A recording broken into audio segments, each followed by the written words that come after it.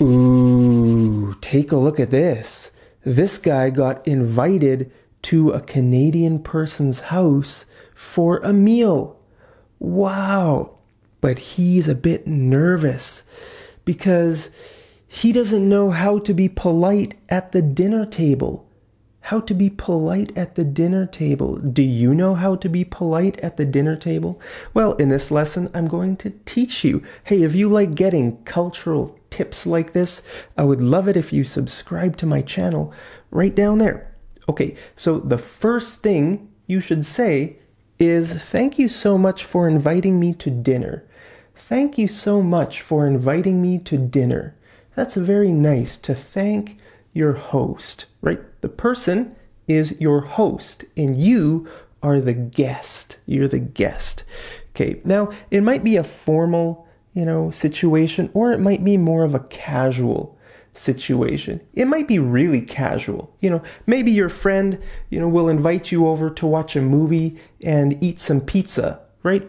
So then you just sit on the couch and you watch a movie and you're just eating some some pizza. That's a very casual situation. You don't have to worry about anything. Just sit there, eat some pizza, put your feet up like this. Look, this girl has her feet up here. Uh, now, in some cultures, it's rude to put your feet up, right? Like in Thailand, for example, uh, it's rude if you show the bottoms of your feet. Well, in Canada, in the US, and other Western countries, it's not rude at all. So you don't have to worry about it. You can just cross your arms, put your feet up on the couch or, or whatever. It's totally fine. You don't have to worry about it. But, you know, if you're sitting around a dinner table, uh, then it's a bit more formal, right? I mean, it might not be too formal. It's still sort of a, a casual situation, but uh, it's more formal than sitting on a couch, right?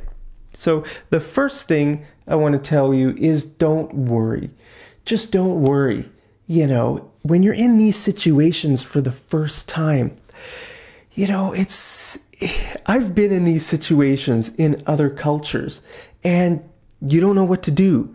You don't know what to expect. You don't want to be rude. So you're just sort of scared and worried. You know what? Don't worry at all. If if someone has invited you to their house, you know they know you're from a different culture and uh, they will forgive you if you make mistakes. So so don't worry about it at all. Okay, now before eating, uh, a very polite thing to say is is there anything I can help with?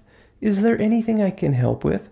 Okay, they've invited you to their house and they're probably getting some things ready right? There maybe they're putting uh, food on the table right? Some dishes on the table um, before eating. So you know you could ask is there anything i can help with? Is there anything i can help with? The host will probably say no no it's okay. Just just relax. Okay. Uh, but it's nice to ask. It's polite to ask.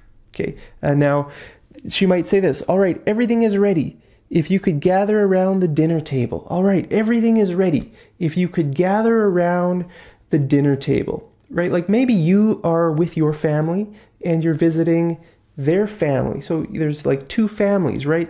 You know, maybe you are talking with, uh, you know, maybe you are talking with the husband and maybe your wife is talking with you know that person's wife. And when everything is ready then the the host will say all right everything is ready. If you could gather around gather around the table. Okay uh, now you might not know where to sit right? Where do i sit? So don't worry. Uh, your host might tell you where to sit right? Uh, she might say abdul why don't you have a seat right here? Abdul why don't you have a seat uh, right over there or, or right here. Okay. Now, if the host does not tell you where to sit, you can ask. Okay, you should ask, is there any particular place you would like me to sit? Is there any particular place you would like me to sit? Okay, any particular place? She might say, oh no, just take a seat anywhere. Take a seat anywhere. Or, oh, you can sit right over here. Okay, so it depends on the situation. If if they don't tell you where to sit, you can ask. uh, you know, yeah, she might say, no, just grab a seat wherever you like. No, just just grab a seat wherever you like. Grab. We use we use that word. Just grab a seat. That means just take a seat wherever you like. Okay. Uh, then after you sit down, what's going to happen? Right? You're sitting there. What do you do? you might be nervous. Don't be nervous. Just relax. So a nice thing to say is, wow, everything looks delicious. Wow, everything looks delicious. Right? It's nice to compliment your host. You know, they've made a nice meal for you. You know, just just tell them, "Wow, it looks really good. This looks so delicious." Okay, um, and then you can also say this: "Thank you again so much for inviting me." Great, thank you so much again for you know inviting me. So you know, you sit down right? When you sit down, wow, everything looks really delicious. Thank you so much for inviting me, right? So you're thanking them again. It's nice to thank them maybe one or two, three times during the evening. That's very polite. You know, some people pray before eating. If you get invited to uh, like a Canadian person's house, uh, there's there's a chance that they might be a Christian, a Christian family. There's a lot of Christians in Canada, the US, Australia, England. Okay, a lot of people are Christians in, in these countries. And one thing that religious people do here is they, they pray before eating. Have you ever experienced that before? You might not know what to do. What do you do? you might be freaking out freaking out. You you don't want to. You don't know what to do. Right? It's a it's a it's a it's sort of a new situation for you. Well, don't worry. You just uh, you, it's very easy. I'll tell you what to do. Okay. So the host might say, "All right, let's pray." All right, let's pray. Okay. So before you know, you sit down. Uh, then when everybody is sort of sitting down and uh, then the host will say, All right, let's pray, or let's say grace, or let's give thanks, or let's offer a blessing. Okay, so this means that the host is going to pray. Okay, the, the family, you know, they're going to pray before eating. So you don't need to worry, just do three things.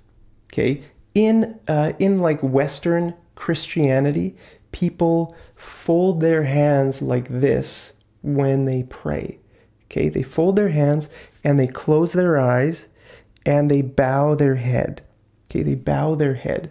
Okay, so uh, you will probably see the host family do this, right? And then you should just do the same thing out of respect, right? Uh, so just fold your hands uh, now, this person, it looks like their hands are on the table.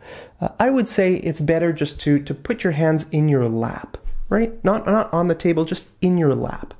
Okay, so like this. Fold your hands, close your eyes, and bow your head, and then the host will pray. The host will pray. It might sound something like this. Have you ever heard a Christian prayer like before a meal? It might be the first time you ever hear something like this, but the prayer might sound like this, okay? Heavenly Father, thank you so much for this opportunity to share some time with Abdul and his family. Please bless him and his family as they adjust to life in Canada. I commit our evening to you. Would you give us a good time of fellowship together? Please bless this food to our body's health. In Jesus' name, Amen. Okay, this is what sort of a, a typical prayer would would be like. Probably not exactly like this. You know, they might say whatever they think about, but it'll probably be something like this. You know, maybe 20 seconds or 30 seconds long. And then after the person says amen, then you can open your eyes and lift up your head and and unfold your hands, okay? Do you understand this prayer? The word fellowship the word fellowship is like a spiritual word for um, for just just hanging out, like like being together, spending time with each other, talking to someone. Right? That's that's called fellowship. That's like the spiritual word for just talking to each other, right? Um, now, what else? Uh, in Jesus' name. Now, why why did they say this in Jesus' name? Well, Christians pray in Jesus' name because Jesus said to do that. Jesus said, "If you ask anything in my name, I will do it." Okay, in the book of John, chapter 14 in the Bible. Okay, that's what Jesus said. If you ask anything in my name, I will do it. So that's why when you hear Christians pray, very often they pray in Jesus' name, Amen. And Amen means it's finished. The prayer is finished. Now you can you can move on with the meal. Okay, so then the host is going to say, "All right, let's eat," or "Let's dig in." Let's dig in, or bon appetit, bon appetit. Okay, this isn't English, right? It's French, but we stole it from French. Very often, you know, people say this even in English. But uh, you know, the host might say, "All right, let's eat," or or "Let's dig in," right? Um, so this is what you know the meal might look like, right? A table full of food. It might be a Christmas dinner. Hey, you might be. They might have invited you over to their house for a Christmas dinner or a Thanksgiving dinner. So there might be lots of food like this. So, what should you do? You sat down at the table, you prayed. Now, what should you do? What should you do in this situation where there's so much food in front of you uh, and you don't know what to do? Well, it's very easy. Okay, you take whatever is in front of you, the dish, you know, all these are different dishes, right? Different kinds of dishes. So uh, you take the dish that is the closest to you, you put some in your plate, and then you pass it. You pass it around the table, okay? Mostly, uh, you know, the food is passed uh, around the table clockwise, like this. Most of the time, this is how it works, okay? So you take something, and then you pass it to the person on your left. And then that person will take something, pass it to you. You take something and you pass it around, right? So all the food gets passed around the table. Okay, uh, so the host might say, Abdul, why don't you start with the mashed potatoes? Abdul, why don't you start with the mashed potatoes? Okay, so then you take some mashed potatoes, you put it on your plate, and then you pass the, the mashed potatoes to your left. Okay, then the person who's sitting over here, they're going to pass you something and until, you know, everything has been passed around, um, and then your plate will be full. Now, I want to tell you a few tips, okay? Don't start eating until your plate is full. So look at this plate here. Mmm, that's a full plate. Okay, so once you've taken a little bit of everything, I mean, you don't have to take something of everything if you don't want, but just, you know, have a full plate. Okay, so don't start eating until your plate is full. Also, wait until your host starts eating. Okay, that's very polite. So after everyone, you know, has food in their plate, the host will probably say, "All right, let's let's dig in." And the host will start eating. Then that's your signal that you can start eating. If you start eating before the host, that's a bit rude. So you should just wait till they start right when they start eating, then you can start eating as well. Okay. Now, the third tip I want to give you is don't reach. Don't reach. Do you know what that means? That means like this. Give me some chicken. Yes, I got my chicken. Mmm, lovely chicken. Wow, that chicken tastes so good. Okay, that's called reaching. Reaching, that's rude. It's rude if you reach. I mean, if you have to put something down, you have to reach a little bit. That's okay, right? Eh, you, then you can say, Excuse my reach. Excuse my reach. I forgot to put that in this lesson. Excuse my reach. Okay, like, you know, maybe you have the, the mashed potatoes and there's nowhere to put it. So you have to put it like maybe over there. So excuse my reach. And then you can put it down, right? That's fine. That's that's polite. But it's it's it's not polite to to reach around. Rather, you should ask. Ask people to pass you things, right? So you could say, "John, would you mind passing the turkey?" John, would you mind passing the turkey? That means you want turkey. And this is a very polite way of asking for the turkey. right? Don't reach for it. Give me the turkey. no, say, John, would you mind passing the turkey? Thank you. Thank you, right? It's good to say thank you after someone does something for you. Okay. Now you can say, wow, this is delicious. The turkey is so tender and juicy. Mmm. Wow, this is delicious. The turkey is so tender and juicy, right? It's nice to compliment the host on the, the, the food or, or maybe on other things as well, right? You could say this I love the color of this tablecloth. Wow, I love the color of this tablecloth, right? Look at this. It's sort of a nice red checkered pattern on the tablecloth. It's a nice tablecloth. So, you know, you can just you can look at different things and and try to try to find some nice things to compliment your host on. Okay. Now, you might be wondering, what should you talk about? What should you talk about? Um, well, I would say let the host lead the conversation. Let the host lead the conversation, right? You're the guest, they are the host, so so let them let them lead it. Um, and when they ask you questions, you should reciprocate. Okay, reciprocate. That means you should ask them some questions too, right? For example, the host might ask, "How long have you been working for FedEx?" How long have you been working for FedEx? And then you can say, um, Well, I've been working for FedEx for six months now. Yeah. And then pause a little bit because the host might want to ask you a follow up question, right? They might ask, uh, Do you like working there? And you can say, Yeah, I really enjoy it. Uh, my boss is, is really great. Uh, I really get along well with my coworkers.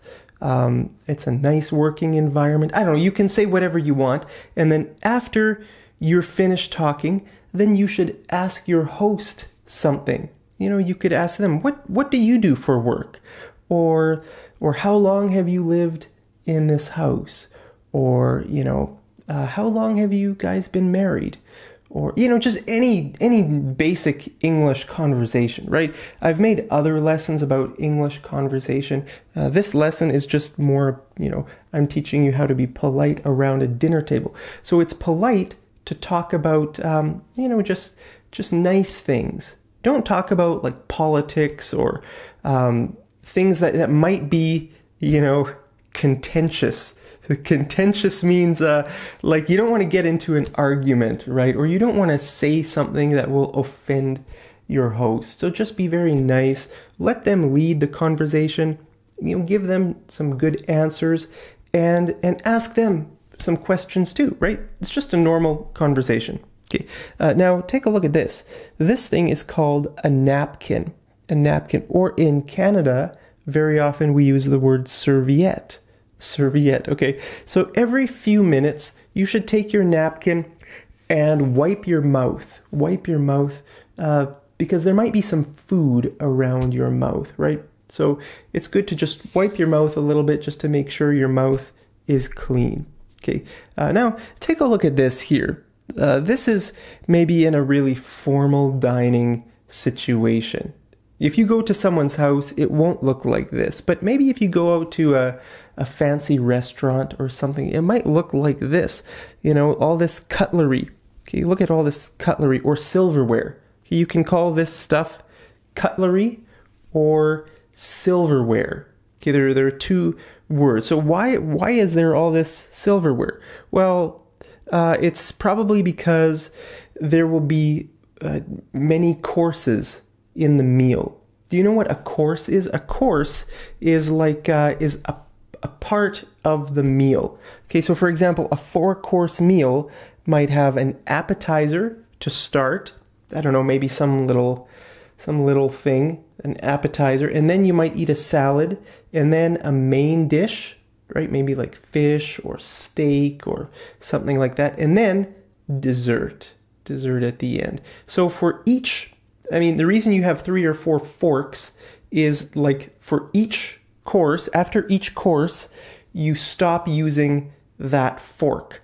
You know, maybe a server will come and take away the fork and that plate. Like if you see in this picture, it looks like there are like here's a big plate and then there's a smaller plate and a smaller plate and a smaller one. So, you know, you you might eat your salad with like one of those forks and this bowl here, and then the server will come and take it away. Okay, so I don't know. I to be honest, I don't have much experience with formal dining like this. So I don't even know how how to do this. But I think you start with the, the outside the outside cutlery. Okay, so you start with the the the fork on that side, the farthest away from the plate. You start from the outside and then you go in like that. Have you ever been in a situation like this where you had like two or three or four forks? I'm maybe I've been in a situation like this a few times in my life, but but not very much. So I don't even know, you know, I don't even know proper etiquette around meals like this. Uh, just be normal. It doesn't matter. Just just you know, for example, I'm right-handed, right? So I would take the fork from here, I would move it to my right hand, and then I would use my knife in my left hand and I would cut my food like that. Um, you know, I don't know if that's the proper way to do it, but it's the way I eat, right? I I'm right-handed. I eat with my right hand, right? So I would say just do whatever you want. It, it really doesn't matter too much. Just relax and enjoy the evening. Oh, now here is something important, okay? Uh, when you're finished eating, when you're finished eating, you should uh, put your your cutlery like this on your plate. Okay, put it like this, like that, uh, and that that signals to your host that you are finished eating, that you're full. Okay, if your fork and knife are like by the sides of your plate, then that looks like you want more food. Right? But if you're finished, then you should just put your your cutlery like this on your plate. That gives the the signal to your host that you're finished eating. Now, I would say look around. Look around the table um, to see how everyone is doing. If someone needs more food, uh, you can offer them some food that is close to you, right? So you could say, Mary, could I pass you some more cranberry sauce? Mary, could I pass you some more cranberry sauce? Right? Maybe the cranberry sauce is over here on your side of the table, uh, and maybe maybe she is too shy to ask for you to pass it. So so just look around and and you know offer people things. That's sort of polite, right?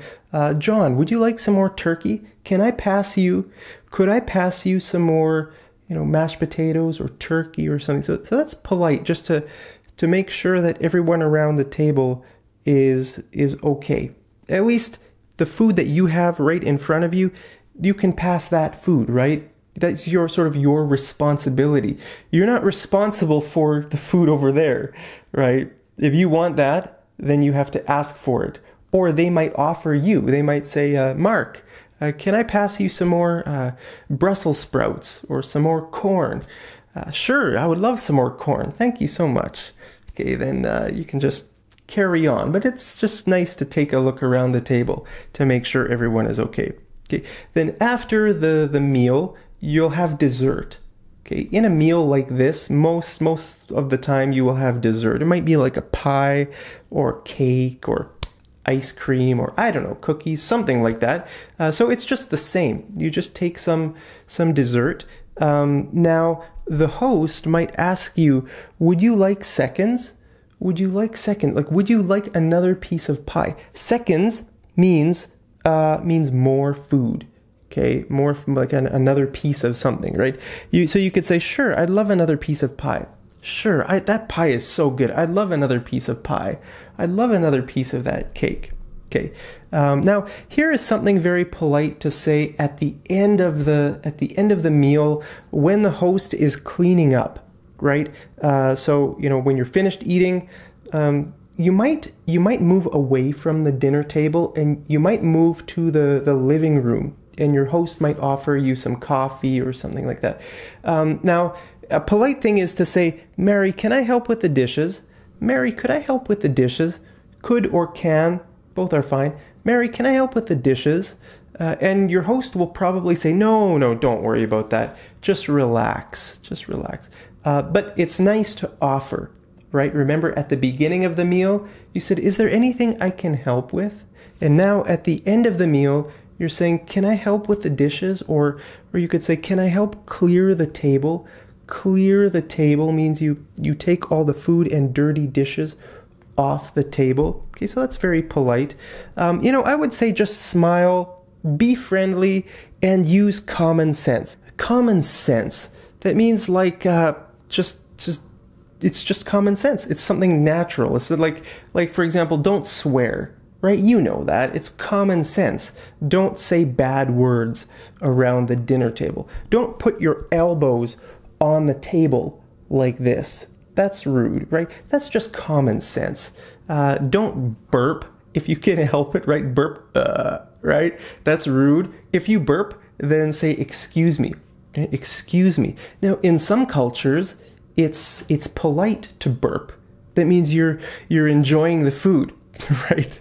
Uh, but in Western culture, it's not polite to burp. But if you do burp, you should just say excuse me, excuse me. Okay. Uh, hey, let's do some homework. I want to know: Have you ever eaten a meal, uh, you know, around a Western dinner table? Have you ever have you ever been invited to like uh, a Western person's house uh, for a meal? And sitting around a table like that, it might be very scary for you. But don't worry, if if you are in a situation like this, it would be a great experience. So so just take the experience and enjoy it. But let me know your answer to this question down there in the comments and I'll see you over in the next episode of Mad English TV. Take care.